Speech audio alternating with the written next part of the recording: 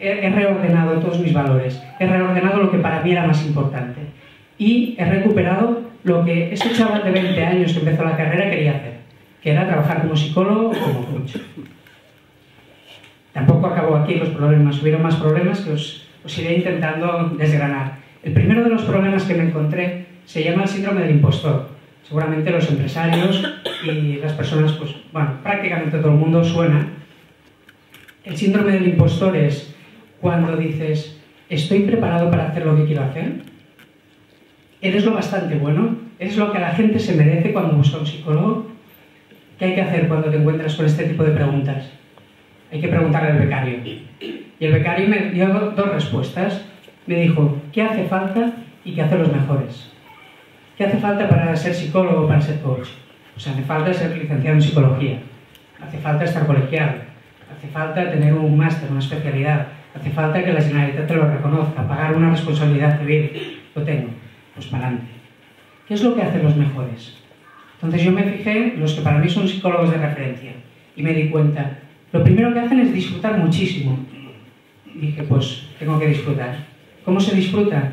Dedicándome solo a lo que más me gusta. No hago psicología infantil, no hago terapia de pareja, no hago terapia sexual, me dedico a la psicología y al coaching de adultos, que es lo que me gusta. Esto complica el hecho de que tengo muchos menos clientes, pero me permite seguir disfrutando durante mucho tiempo. ¿Qué más hacen los buenos? Son gente que tienen mucha autoestima. ¿Cómo se hace para tener autoestima? Yo tengo una serie de truquitos que compartiré con vosotros. El primero es recordar los éxitos. Las personas siempre nos acordamos de nuestros fracasos y nunca nos acordamos de nuestros éxitos.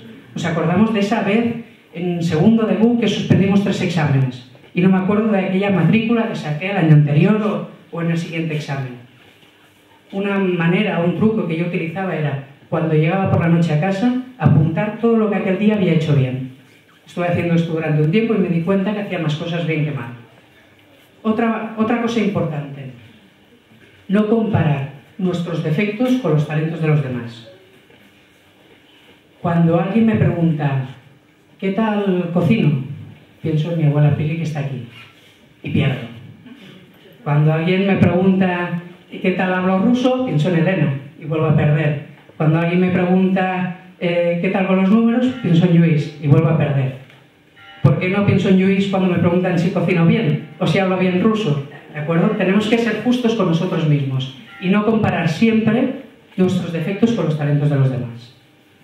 Otra cosa importante para mí, eh, tenemos que dedicarnos, a pesar de que siempre nos dicen que no lo hagamos, a lo que mejor se nos da.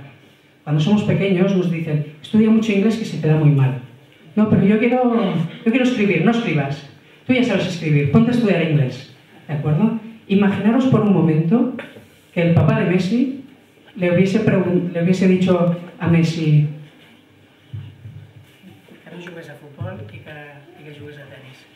Este, boludo, no pierdas tiempo con el, con el fútbol, dedícate al tenis, que esto para siempre, que tú vas a crecer y serás muy alto.